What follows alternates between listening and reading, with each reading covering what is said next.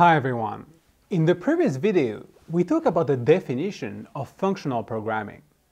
In FP, function must satisfy three rules. They must be total, deterministic, and pure, which means they don't perform actions, they only produce a value.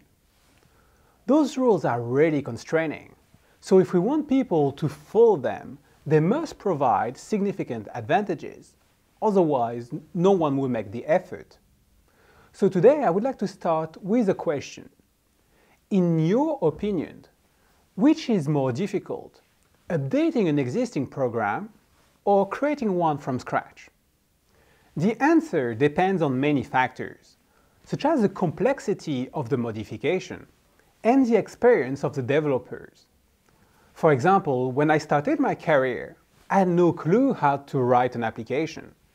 I didn't know how to connect to a database or read data from a config file.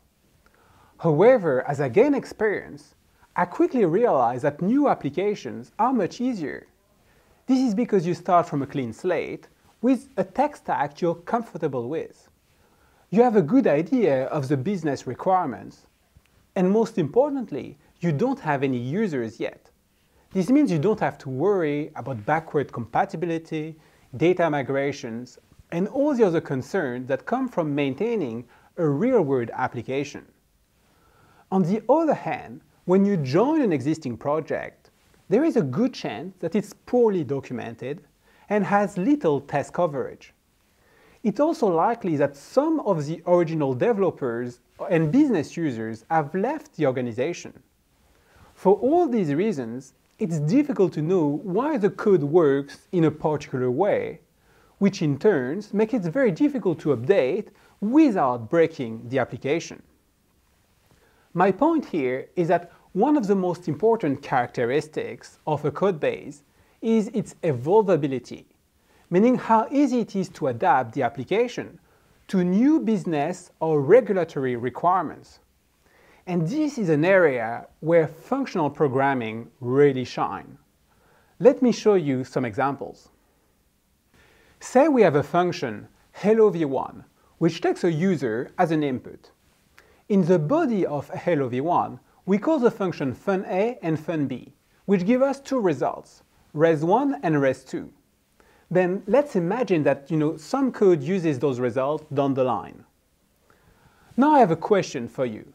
Can we reorder the call of fun A and fun B without changing the behavior of hello v1?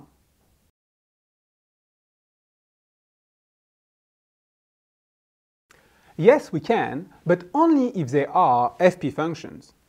If that's the case, we know they don't perform an action, and they can only return a value. For example, suppose fun A returns 10 and fun B returns the empty string. In that case, we know we can swap those two lines without affecting the program. Because they are just values, they don't do anything. However, if fun_a or fun B were to perform an action, then we won't have the same guarantee. For instance, if fun A deletes the user from the database, and fun B inserts it, this means that hello v1 will first clean up the existing record for this user and then insert it while hello v2 would insert the user and then delete it. Therefore, in one case we end up with a user updated in the database, and in the other case a deleted user.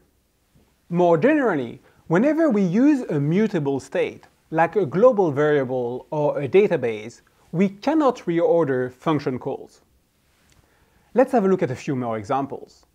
This time, let's say that hello v1 calls fun_a discard the result, and then call fun_b and fun_c to obtain two variables, res1 and res2. Finally, the function returns res1. This code looks a bit weird, and you might wonder, what is the point of defining res2 and doing nothing with it? And you would be entirely right, but it's common to see code like this in the real world.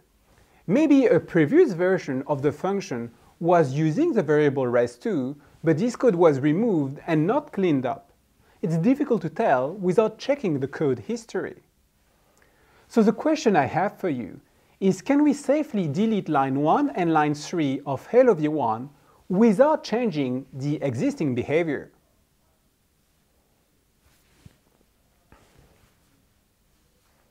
If we know that both fun A and fun C are FP functions, then we can safely do this refactoring.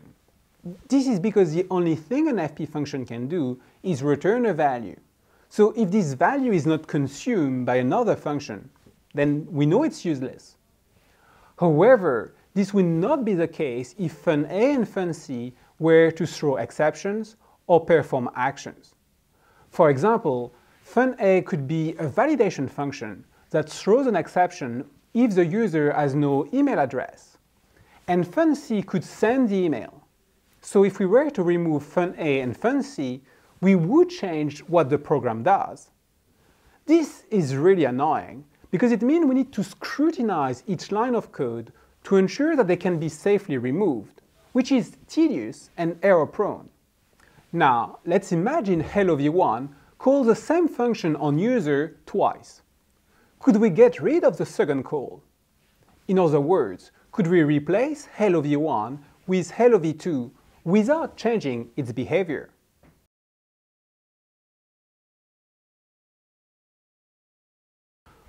Once again, if fun_a is an FP function, then yes, calling an FP function is equivalent to looking up a value in an immutable map. It's completely deterministic meaning that if we look up the same key twice, we know that we'll get back the same result.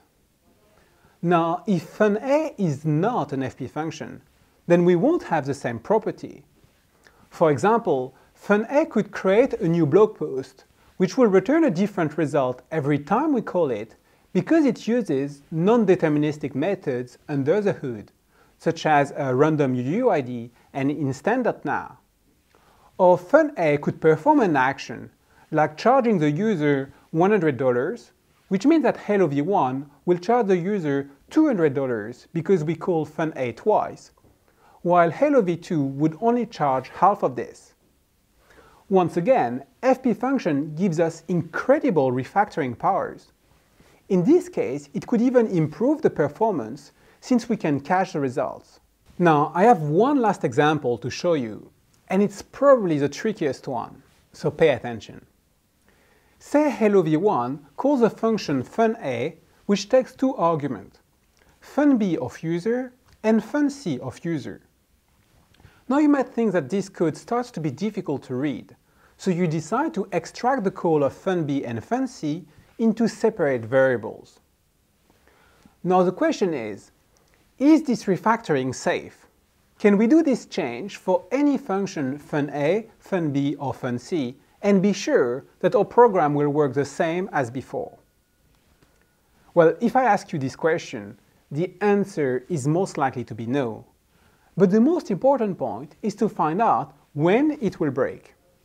Can you find an example when this refactoring is not safe? Please pause the video and think about it for a minute or two.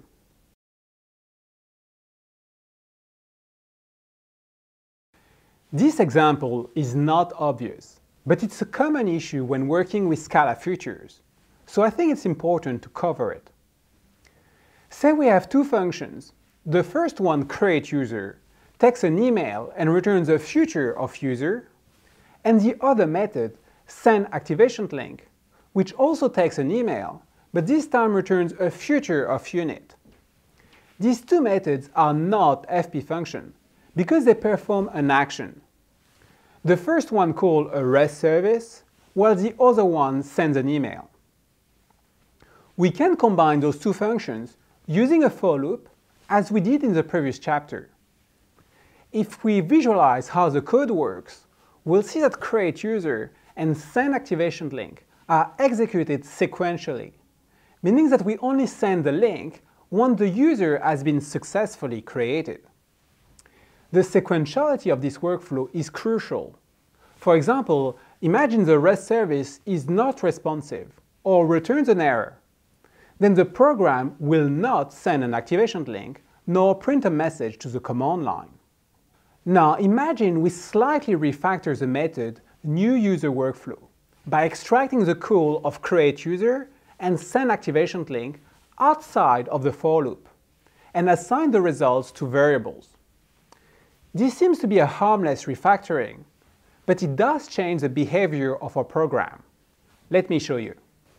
In this version, create user and send activation link are executed concurrently. This is because the execution starts as soon as the futures are created, as we saw when we implemented a parallel version of FoldMap in the previous chapter. This means that we don't know which action will complete first. Maybe the user will be saved in the database before the email is sent, or the other way around.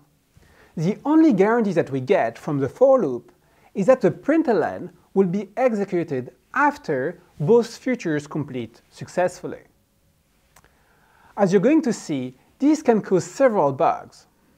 For example, the user creation might be delayed if we are in the middle of a deployment. This means that the user will receive an email containing an activation link before their account has actually been created. So if they click on the link during this period, it will most likely result in an error. Another potential issue could arise if the user creation fails. For instance, if the email is invalid or if the domain is banned. In this case, the activation email will be sent even though the user will never be created. As you can see, both error scenarios are difficult to detect, and it's unfortunate that a simple refactoring like extracting a variable can cause such a significant change in our program. In summary, the more experience we have, the more we realize that the highest cost in software development is not in the initial version, but in the maintenance and evolution of a project. Not only do we need to fix bugs and rectify poor design decisions, we also need to cater for new business requirements that might conflict with the current design of the application. This means that we constantly need to refactor the code and today we saw how FP functions give us the confidence to do so without breaking the application. As a result, we can respond to business requests faster since we don't need to spend as much time scrutinizing each line of code and running long integration tests. It also means that random bugs are less likely to occur when we introduce new features, which improve the confidence of our users in, in the quality of our product. I like to think of FP program like Legos. We can easily move wall blocks around and reassemble them without fearing that everything will fall apart. We get these benefits because we limit ourselves to simple functions that behave like immutable maps. Without these limitations, it more feels like building a sandcastle. The initial development is fun, but once it's done, we don't want to touch it because we are afraid to break it. Having said that, functional programming alone doesn't make our program extensible and bug-free. However, it does push us in the right direction, which makes a significant difference in the long run. Okay, so I think this is an excellent place to stop for today. And the next video will cover other areas where FP functions simplify our job. See you soon. Don't forget to check out my website, fp-tower.com, to get access to all my functional programming content and sign up for my course. See you soon.